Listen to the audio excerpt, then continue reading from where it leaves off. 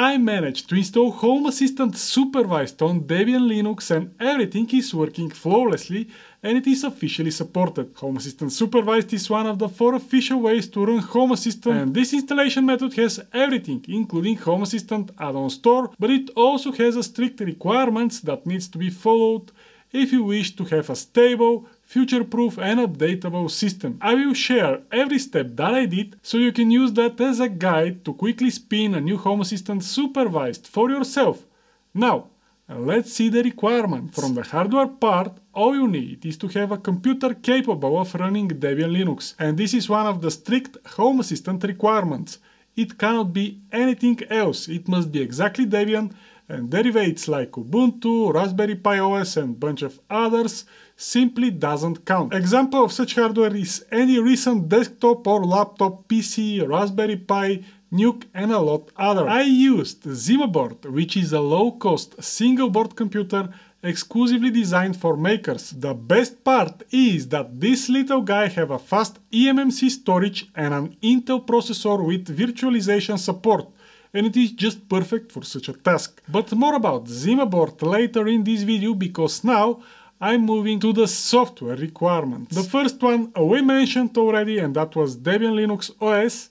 At the time of shooting this video the latest version is Debian 12 with codename Bookworm. This is how I installed Debian on my ZimaBoard computer on a fast pace. I downloaded the latest Debian image from get.debian.org website and I created an installation USB stick using a free tool called Raspberry Pi Imager, where Balena Etcher is another tool that can be used to accomplish the same. After that, I inserted one 16GB USB stick in my laptop, then I selected the downloaded Debian image and I flash it on the USB stick, where the whole process took several minutes. After that, I inserted the USB stick in one of the USB ports of the ZimaBoard computer and I also plugged a monitor and a keyboard so I can enter in the BIOS so I can configure the device to boot from the USB flash drive. I will not get into great details about the Debian installation process as it is nothing extraordinary. Most of the time I just use the default Debian options. I set and remembered well the root and regular user, user username and password. I used the entire ZimaBoard eMMC storage for the Debian and I installed GRUB bootloader. I also enabled the SSH server so I will be able to connect to my device over the network from my laptop and to remove the connected monitor and keyboard when the installation is finished. Once I got inside Debian I updated and upgraded the operating system to the latest possible version using the standard apt commands. Don't try to remember them, just get them from the video description or from my written article. I'll switch the user to root and I'll use the password that I choose during the initial setup and now I'll type apt update and I'll wait for this to finish. After that I'll type apt upgrade that way I'll have the latest packages. Then I install the following software dependencies as per the Home Assistant instructions. This is step 1, I should execute this as root, so I execute first su dash and I'll type my root password. And when I see this rooted Debian everything is fine and this hashtag of course. And now I'll just copy these whole commands right here and I'll paste it in my terminal just like that. Uh, wait for this command to finish. After that I install Docker using this one line command.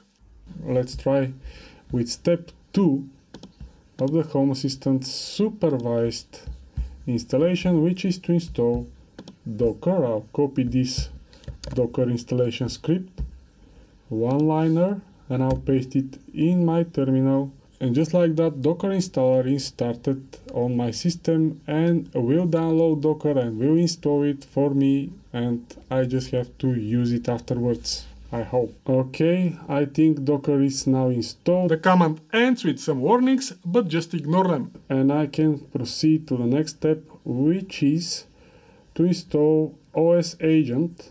It can be found here on this link these are the releases I should find the latest one and if you are doing this in the future just get the latest OS Agent version. This is for 64-bit and it is a Debian package. So I'll copy this link and I'll download it on my system using wget command. Like that. Now my this package is downloaded on my home folder and I can install it using the following command e package minus e and then the name of the file. Let me double check if this is the correct way. Yes it is. I'll click enter and OS agent is installed I can now check if everything is fine by using this command with my OS agent this command verifies that you successfully installed OS agent. I have some answer and this answer seems valid. This should not return an error. So this is not an error for me. This is some settings which is just fine. Next step for my Home Assistant supervised installation is step 4 which is to install Home Assistant supervised Debian package. I'll just copy this whole row and I'll paste it again in my terminal. Just like that. I'll hit enter.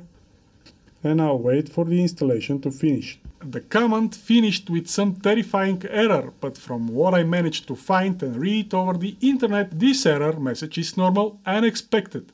Go figure. And now, before we go to the final Home Assistant supervised step, I want to share a few words about the device that I'm using.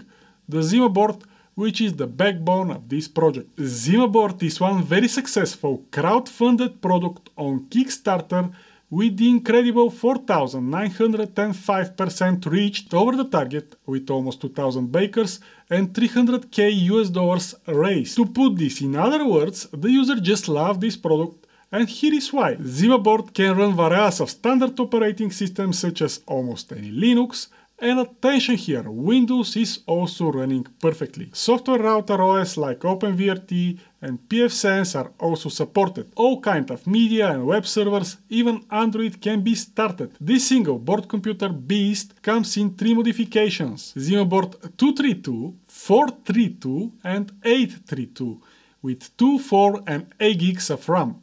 Also, the last two models have a better CPU with two more cores. All devices are having 32GB of fast eMMC storage and two SATA ports for additional HDD or SSD drives.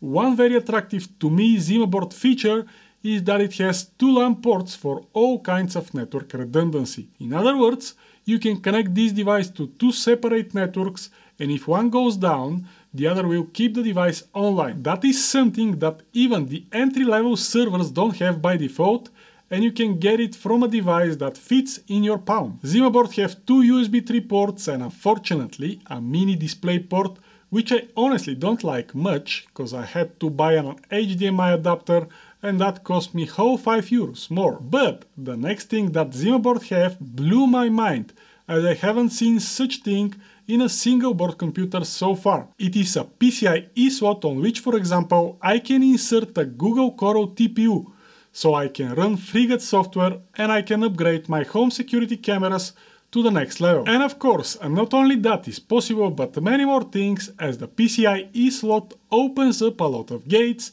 and possibilities. The Zima board is having a passive cooling, which means the device is completely silent. It weighs only 278 grams and attention here, it is powered by 12 volts DC. That means it is a great choice for camper, caravans, RVs, and boat owners as well. Of course, you can use the device as a desktop computer as it is powerful enough for everyday tasks. And it even comes with pre-installed CasaOS, which is another Debian-based Linux distribution that allows one-click installation of multiple ready-to-use applications including Home Assistant, but that is the container version which doesn't have Home Assistant add-on store. If you want to join the owners club of this fun yet powerful mini computer, you can check the current prices of all three ZimaBoard models from the links in the video description. Now, back to the Home Assistant supervised. After Home Assistant supervised in store finished its job, meaning I saw the terrifying error that seems to be normal, I can try to open Home Assistant.local colon 8123 web address in my browser. Or if this doesn't work, I have to find the IP of the device where Home Assistant was installed. That was my Zima board. I have some warnings here, but let me try to open the IP of my Zima board, which is 185, and the default Home Assistant port, which is 8123. And I should be greeted by the Home Assistant welcome page, which usually is saying wait few minutes more for the Home Assistant installation to finish. But because I'm running this on the fast Zima board mini computer, I was ready in no time. And just like that, I have my Home Assistant welcome screen shown and I can create my smart home by clicking on this button. I can restore from backup here. If I have a Home Assistant full backup, I can click on this and I can select my file and I'll restore my full Home Assistant snapshot. Then the last thing needed was to finish the Home Assistant onboarding process, which was like a walk in the park compared to the steps that I did so far. Let's try to create my smart home. I'm Kirill, nice to meet you. You can subscribe if you haven't done that already. I will use my own password here and I'll create an account. I'll select a location. You can search for your location here and you can select it I'm on the next step now, help us to help you share anonymized information.